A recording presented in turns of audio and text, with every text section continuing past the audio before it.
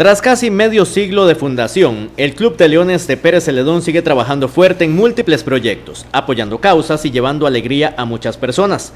Las diversas comisiones siguen laborando, comentó el presidente Oscar López. El Club de Leones aquí, bueno, ya eh, tenemos 48 años de fundado.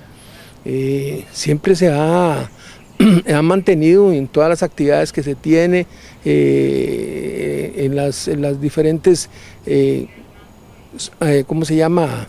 Comisiones que tiene el club, porque el club está dividido en comisiones y están funcionando y todo. Más bien, ahorita estamos abriendo un proceso que es de renovación de, de los miembros. Nos hemos quedado y no hemos seguido renovando miembros del Club de Leones. La apertura de opciones para las nuevas generaciones es un aspecto que tienen claro en el Club de Leones, buscando nuevos líderes en Pérez Celedón que vayan sumándose a la causa y tomen la batuta de una organización de gran valor y tradición en el país. Y entonces estamos en un proceso junto con la gobernación que está pidiendo aumento de socios de los diferentes clubes. Entonces estamos en ese proceso, estamos tratando de conseguir líderes en en la, ¿cómo se llama? aquí en Pérez Celedón para irlos metiendo al Club de Leones. Estamos, eh, porque sí, el, hemos visto que se ha avejentado un poquito el, club, entonces estamos tratando de meter eh, jóvenes. Eh, claro, en, el Club de Leones está dividido lo que es el, Club Leo, que son jóvenes, muchachos hasta los hasta los 28 años. Después de los 28 años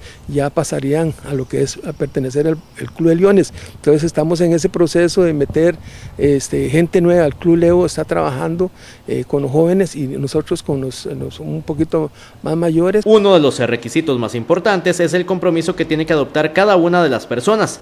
El Club de Leones es un compromiso, aunque se diga que es un voluntariado, este, eh, la persona adquiere un compromiso de estar asistiendo a las reuniones, de estar este, participando en las diferentes actividades que, hace el Club de Leones. La verdad que eso tiene que ser, hace, eh, ¿cómo se llama? Eh, nacer de corazón lo que es el servicio el servicio a las personas más necesitadas, ir y, visitar casos, ver los casos, estar dispuesto a visitar casos, porque eh, sabemos que, entre eh, más jóvenes tienen que, están trabajando, entonces tienen que eh, dedicar parte de su tiempo libre a lo que es la actividad del Club de Leones. Y es que el Club de Leones va más allá de una sola persona, es algo que trasciende a la familia. También que el Club de Leones es una organización que se involucra a toda la familia.